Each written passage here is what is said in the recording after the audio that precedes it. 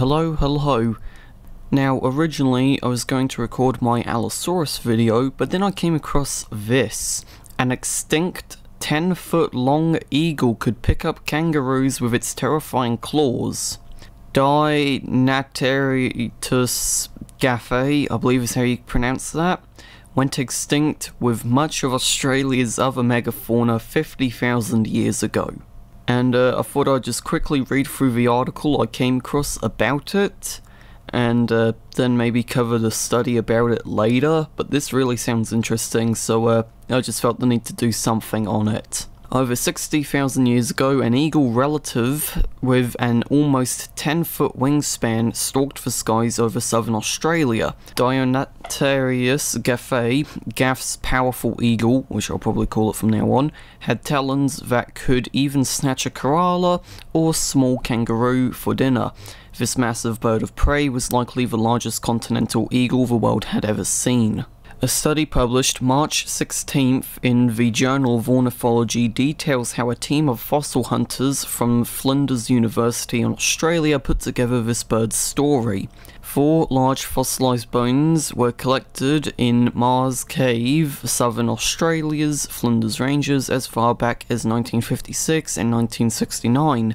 The authors found an additional 28 bones scattered among the boulders in the site, which helped them create a better picture of this gigantic bird.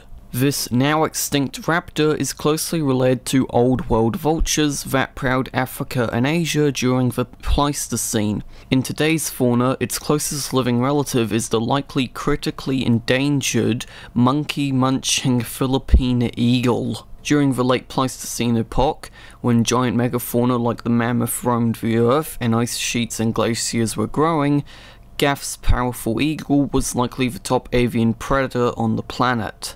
It's often been noted how few large land predators Australia had back then, so Gaff's powerful eagle helps fill that gap, said study author and Flinders University paleontologist Ellen Mather in a statement. This discovery reveals that this incredible family of birds was once much more diverse in Australia, and that raptors were also impacted by the mass extinction that wiped out most of Australia's megafauna. Gaff's powerful eagle and another recently described smaller bird named Cryptogyps represent a new genre of raptors that are unique to Australia. This sounds similar to what happened with Australotitan actually, because if I remember correctly, back when they described that, they found that it and other Australian sauropods actually belong in their own family called Diamantinosauria. So uh, that's fairly interesting.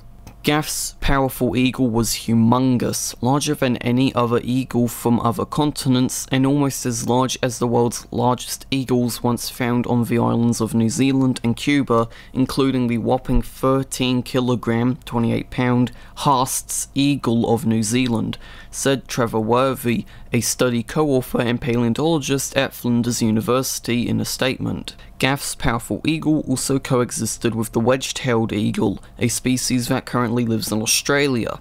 The team says that this has interesting implications.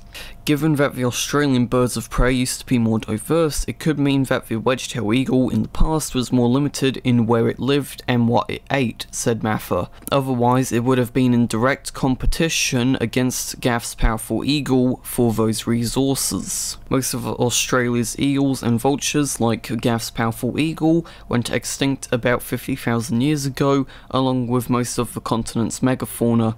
One 2020 study found that a possible explanation is extreme environmental change and deterioration, loss of water, increasing of burning of trees and grass, etc. That wiped out at least 13 super-sized megafauna species, including the world's largest wombats and kangaroos. Well, um, if I'm gonna be honest, this sounds fairly interesting, and, uh, I'll probably end up doing a video going over the study describing this animal, kind of like what Edge does whenever a new dinosaur species is announced, where he uh, goes over the study and what it details about it. Because honestly, this sounds fairly interesting, especially considering the fact that, if I remember correctly, when it comes to paleontology, Australia isn't as well documented as other countries.